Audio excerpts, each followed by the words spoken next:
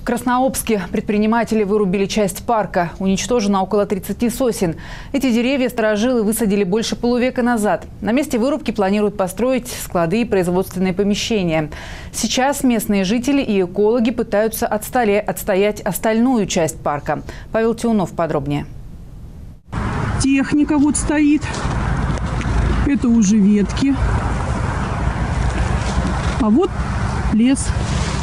Это не кадры заготовки леса, а съемки в известном почти каждому жителю Краснообска парке имени Синягина. На этом месте еще несколько дней назад росла сосновая роща. Сегодня гора хвои и опилок. Люди позвонили, сказали, что нагуртовано очень много снега, но с дороги видно, как э, валятся сосны. Когда мы сюда приехали, уже было срублено тогда пределы 12 сосен. На следующий день уже 34 пня мы насчитали здесь с нашими экологами. О том, что парк, высаженный старожилами 50 лет назад под угрозой местным жителям было известно с 2004 года. Тогда поселковая администрация продала земельный участок бизнесменам. Оформить границы зеленой зоны чиновники решили только 9 лет спустя. Оказалось, что несколько десятков полувековых деревьев уже находятся на частной территории. В прошлом году муниципалитет не дал предпринимателям разрешения на вырубку. Впрочем, коммерсанты добились своего через суд. Суд обязал администрацию рабочего поселка Красновск выдать порубочный билет. Мы какое-то время с ними еще вели переговоры о том, чтобы, может быть, обменять этот участок на другой.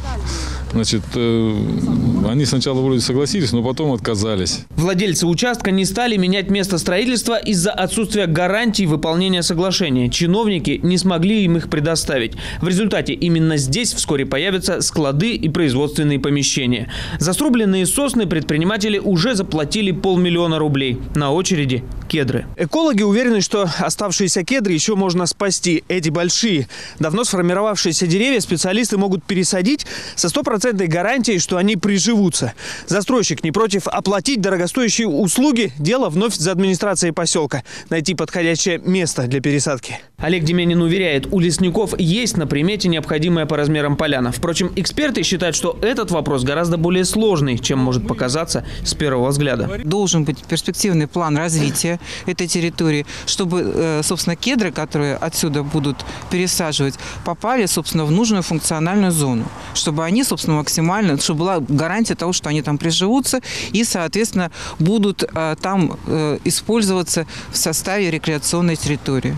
15 кедров должны пересадить весной. У поселковой администрации есть всего пара месяцев для того, чтобы согласовать все формальности. Иначе деревья пустят на пиломатериал. У бизнесменов на это есть законное право. Павел Тиунов, Константин Стремаусов. Новости здесь, Новосибирск.